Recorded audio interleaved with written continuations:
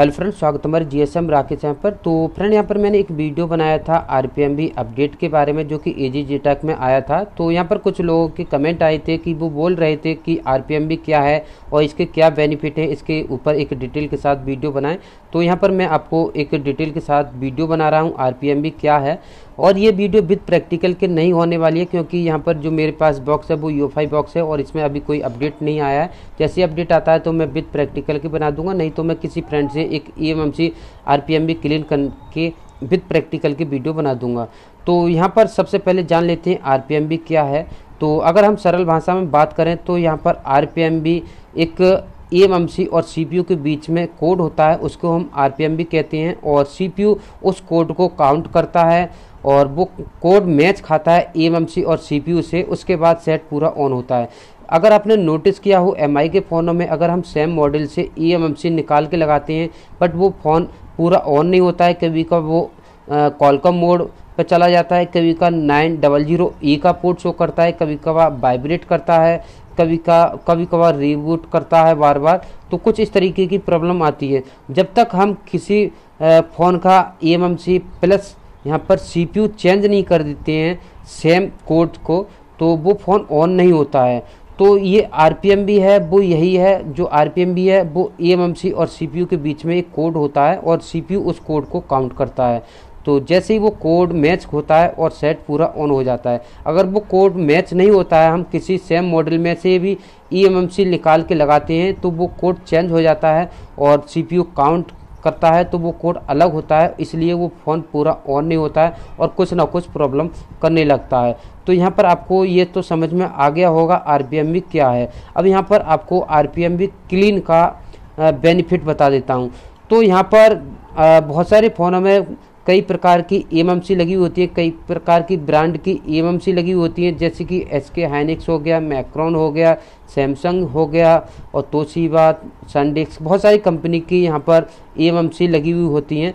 तो यहाँ पर जो एस के हाइनिक्स और मैक्रोन की ये दो चिप होती हैं एम होती हैं, ये चाइनीज़ एम हैं और ये बहुत ज़्यादा ख़राब देखने के लिए मिलती हैं, बहुत ज़्यादा सेटों में डैमेज देखने के लिए मिलती हैं। तो उस टाइम यहाँ पर क्या होता है कि हम कंपेटेबल एक सैमसंग का E M M C R P M भी क्लीन करके हम उस सेट में अपग्रेड कर सकते हैं।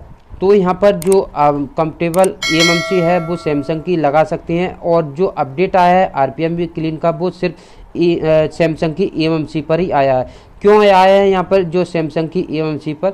तो यहाँ पर जो सैमसंग की ई होती है, वो काफ़ी पावरफुल होती है, उसमें बहुत ही कम प्रॉब्लम आती है ई की। तो यहाँ पर सैमसंग की, इसलिए यहाँ पर आईसी यहाँ पर ऐड हुआ है आरपीएम भी तो यहाँ पर जो आरपीएम भी है, वो हम सिर्फ़ सैमसंग का ही कर सकते हैं और उसे हम आरपीएम भी क्लीन करने के बाद हम किसी भी एमआई के फ़ोन में या फिर अदर ब्रांड के फ़ोन में लगाते हैं। तो यहाँ पर जो प्रॉब्लम आती है नाइन डबल ज़ीरो ई की या फिर ओनली वाइब्रेट की या फिर रिबूट प्रॉब्लम कुछ इस तरीके की प्रॉब्लम आती हैं तो वो प्रॉब्लम आरपीएम भी क्लीन के बाद नहीं आने वाली हैं। तो यहाँ पर जो बेनिफिट है, वो यही है कि हम किसी भी ईएमएमसी को अगर हम आरपीएम भी क्लीन करके लगा देते हैं तो वो किसी भी फ़ोन में मैच हो जाएगी। उसकी जो हार्डवेयर कोड होता है सी पी यू के बीच में तो वो मैच हो जाएगा। क्यों हो जाएगा? अगर हम एक सिद्धांत दें आपको तो अगर किसी फ़ोन में स्क्रीन लॉक लगा हुआ होता है और इसे हम ऑन करते हैं तो वो जब तक स्क्रीन लॉक अनलॉक नहीं कर कर पाते हैं तो वो पूरा ऑन नहीं हो पाता है। उसके जो फीचर है ऑप्शन है फ़ंक्शन है, वो ओपन नहीं होते हैं। अगर हम इस फ़ोन को अनलॉक कर देते हैं हार्ड रीसेट मार देते हैं फॉर्मेट को मार देते हैं तो वो फ़ोन का जो स्क्रीन लॉक है, वो हट जाता है और फ़ोन पूरा ऑन हो जाता है। उसी तरीक़ा से एम का जो कोड है, वो उसे हम अनलॉक कर देते हैं रिमूव कर देते हैं क्लीन कर देते हैं। उसके बाद वो एम किसी भी फ़ोन में लगा सकते हैं और उसमें कोड ना होने के कारण वो सी पी वहाँ पर मैच कर लेता है और सेट में जो प्रॉब्लम आती हैं, वो प्रॉब्लम एम आरपीएम भी क्लीन के बाद नहीं आती हैं। तो आपको अच्छी तरह से समझ में आ गया होगा जो आरपीएम भी है, वो क्या है और इसके बेनिफिट क्या हैं। नहीं तो आपको जो आरपीएम भी क्लीन नहीं करते हैं तो हम किसी भी सेम मोबाइल से ईएमसी और उसका सीपीयू चेंज करना पड़ता है, उसके बाद ही वो फ़ोन प्रॉब्लम ठीक होती है। अगर हम आर भी क्लीन कर देते हैं तो आपको सीपीयू चेंज करने की ज़रूरत नहीं पड़ने वाली है। तो यही कुछ बेनिफिट हैं R P M B clean का और इस पर हम बहुत जल्द एक वीडियो लेके आएँगे विथ प्रैक्टिकल के और एम आई के फ़ोन पर ही हम विथ प्रैक्टिकल करने वाले हैं। तो ये जानकारी आपको कैसी लगी कमेंट सेक्शन में आप बता सकते हैं। अगर आपको अब भी कोई डाउट हो तो आप बता सकते हैं कमेंट कर सकते हैं। हम जो विथ प्रैक्टिकल के वीडियो लेके आने वाले हैं, उसमें आपको यहाँ पर बता देंगे उस प्रॉब्लम की जो आपकी समझ में नहीं आया है।